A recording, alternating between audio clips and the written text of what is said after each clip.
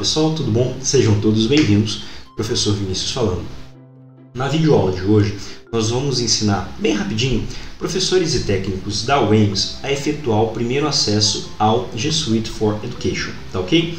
Bom, o G Suite for Education é um pacote de ferramentas de produtividade desenvolvidas pela Google para ensino-aprendizagem, tá ok? Esse pacote de ferramentas ele é disponível gratuitamente para escolas e instituições de ensino superior públicas. Tá?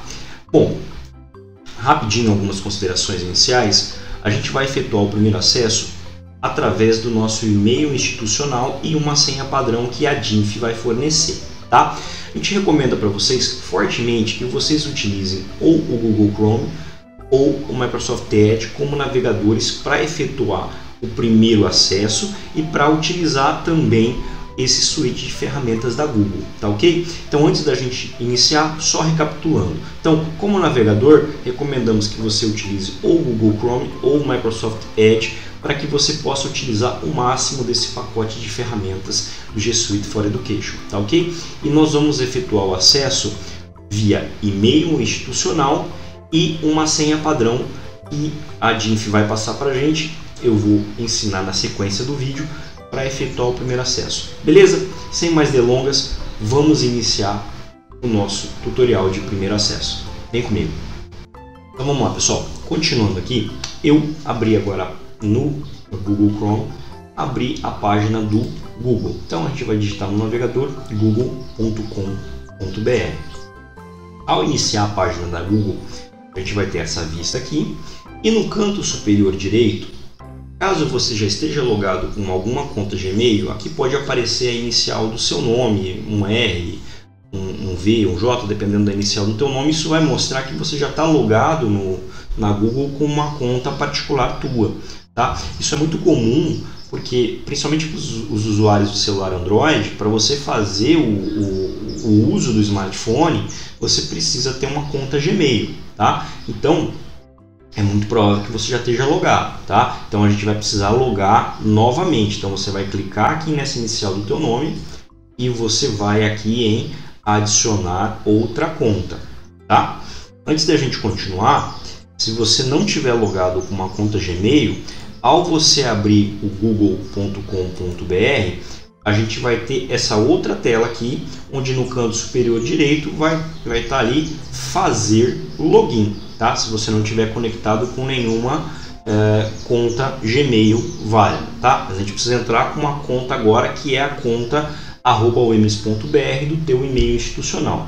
Então, se tiver fazer login ou se tiver a inicial do teu nome, você vai clicar aqui e a gente vai em adicionar outra conta ou se tiver no fazer login, você vai clicar no fazer login e a tela que vai abrir vai ser esta daqui ok?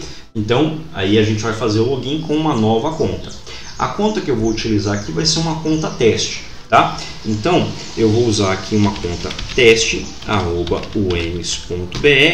mas no caso de vocês, é o seu e-mail institucional, o mesmo e-mail que você usa o mesmo endereço de e-mail que você usa para utilizar o, o, e-mail da UEMS ou que você utiliza aí para acesso à intranet, tá ok? Então é o seu login de acesso à intranet, oms.br, ou seja, o seu e-mail institucional, tá ok? Então, entrei aqui e vou em próximo, ok?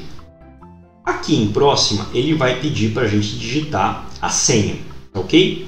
A nossa senha, eu vou pegar aqui na minha colinha, é uma senha padrão, tá? E a senha padrão vai aparecer aqui no navegador. Essa senha é a senha padrão para o primeiro acesso de todo mundo. E ela é o que? G maiúsculo, suíte minúsculo, o ENS maiúsculo, tá? Então, repetindo, G maiúsculo, suíte minúsculo, o EMS maiúsculo, underline 2020. Essa senha vai ser padrão para primeiro acesso de todos os usuários, tá ok? Então, repetindo, G maiúsculo, suíte, o EMS maiúsculo, underline 2020. Essa é a senha padrão de primeiro acesso para todo mundo. Já vai ser solicitado para a gente que efetue a troca da senha na sequência, tá? É, eu pedi aqui para visualizar a senha, posso pedir para ocultar de novo, mas para que todos vocês visualizem, tá? Então, digitada a senha padrão, eu vou dar próximo. Aqui ele vai me perguntar em relação aos termos de usuário, faça uma leitura, tá? Que a conta é compatível com serviços Google, quais são os direitos de uso, as políticas de uso institucional vão ser repassadas aos usuários pela diretoria de informática da universidade, tá ok? Mas é aquela utilização padrão, somente para ambiente de serviço e é, cuidar com a questão de ilegalidades de uso, tá ok? Então, aceitado o termo de serviço, nós clicamos em aceitar e ele já me pede obrigatoriamente para que eu digite uma nova senha, tá? A gente recomenda que ela alterne letra maiúscula, minúscula e caracteres especiais, números, letras, tá ok?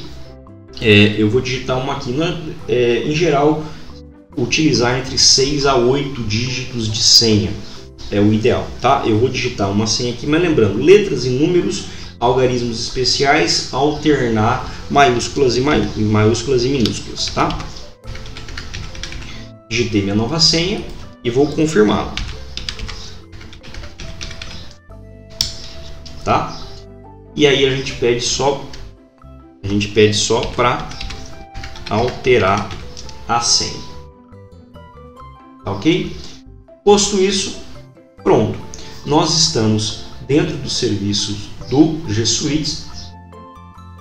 Aparece aqui a inicial do seu nome, né? E se a gente clica aqui nos nove pontinhos, a gente tem todo o leque de ferramentas do G Suite para uso institucional, tá ok? Então, estão aqui todas as ferramentas disponibilizadas para o primeiro uso, tá ok? Primeira etapa concluída. Em vídeos futuros nós vamos abordar algumas das ferramentas mais usuais, como o Gmail, tá? como o Google Drive, tá? e outras ferramentas pertinentes. Ficamos por aqui, até os próximos vídeos. Qualquer dúvida é só enviar no dúvidas.tice.uems.br problemas de login, senha de intranet, vocês precisam enviar e-mail para informática@uems.br. Então, repetindo, dúvidas em algumas ferramentas, a gente ainda vai elaborar uns tutoriais para disponibilizar no canal da DED. dúvidas.tice@uems.br. Problemas com e-mail institucional, senha, vocês entram em contato no informática@uems.br. Ficamos por aqui. Até as próximas videoaulas. Tchau, tchau, pessoal.